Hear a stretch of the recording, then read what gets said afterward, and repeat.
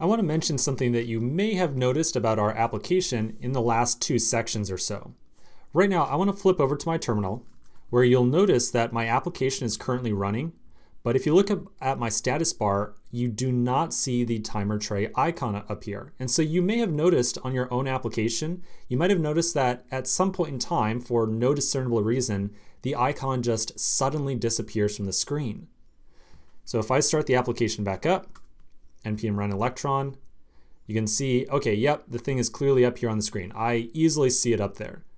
But then in some amount of time, who knows how long exactly, the icon will just mysteriously disappear.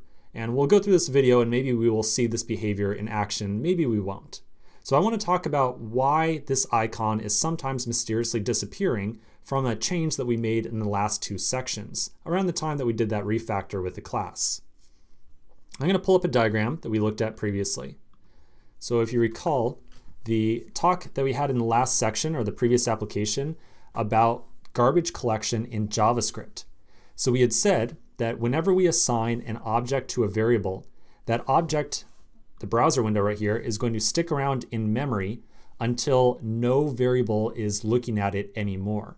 So we had said that if we created a new browser window, called like say browser window v2, and then we told the add window variable to point at that object instead.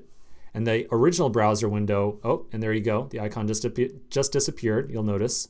So very relevant discussion we're having right now. So anyways, if we had reassigned the add window variable, the original browser window no longer had any references looking at it, and so JavaScript garbage collected that browser window object, which caused or would cause the browser window to just magically disappear. And so that is exactly the behavior that we're seeing right now. When that icon disappears, that means the timer tray instance that we had created is getting garbage collected automatically. So this is occurring because we do not have any variables pointing at the timer tray.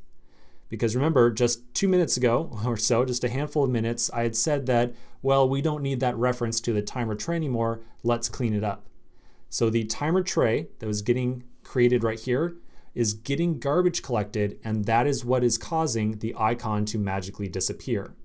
So we can solve this behavior by adding back in that let keyword that we had just removed. So we'll say let tray up here and then we will save a reference to the timer tray that we're creating. So now a variable is pointing at the timer tray so the timer tray should no longer be getting garbage collected by our application. So let's now restart this thing. And presumably, again, it's kind of hard to demonstrate, but presumably the icon will no longer just kind of magically disappear from the screen. I had wanted to remove this uh, reference right here very purposefully because I kind of wanted to demonstrate that behavior. So hopefully I didn't throw you through too big a loop in the last two sections by not kind of deliberately mentioning that, hey, this icon might disappear. If it did disappear and you were kind of confused, I apologize for that, but we should be good to go now. Okay, so now we've seen that garbage collection action in process or in practice, let's continue with another feature in the next section.